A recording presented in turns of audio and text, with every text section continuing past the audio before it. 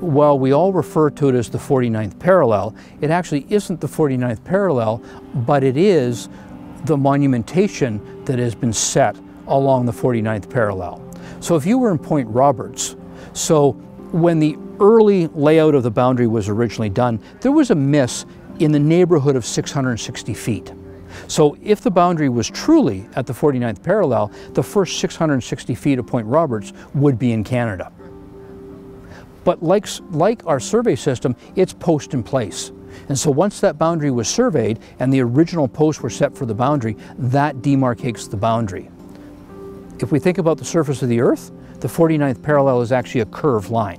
We've all seen on maps latitude and longitude is a curved line. Well, the international boundary is actually a straight line, but it's a straight line segments from monument to monument. So we're not getting that type of movement that means parts of the U.S. are coming into Canada.